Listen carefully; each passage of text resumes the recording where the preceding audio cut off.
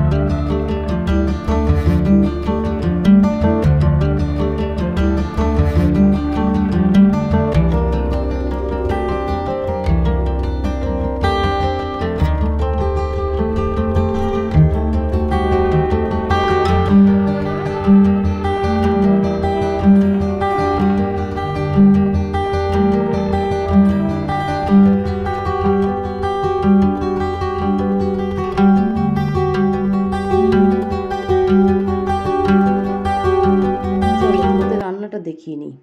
এখানে আছে ভাত, এখানে ভেন্ডি, আলু, পেঁয়াজ আর চিংড়ি মাছ দিয়ে একটা ভাজা আর আছে চিকেনের লাল লাল ঝোল। এই হচ্ছে আমাদের লাঞ্চ মেনু বিকাল হয়ে গেছে।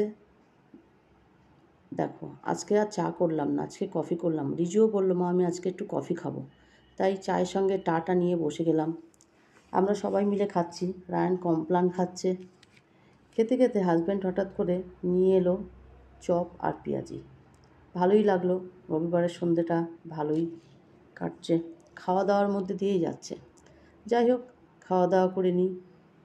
সবাই মিলে একসঙ্গে বসে খাওয়ার মজাটাই আলাদা। কিন্তু সবাই তো আর ক্যামেরার সামনে আসতে চায় না, তাই দেখাতে পারি না। যাই হোক খাওয়া দাওয়াটা করে আজকে ডিনারে ছিল শুধু রুটি আর দুপুরে সেই চিকেন। এই দিয়েই ডিনারটা করলাম।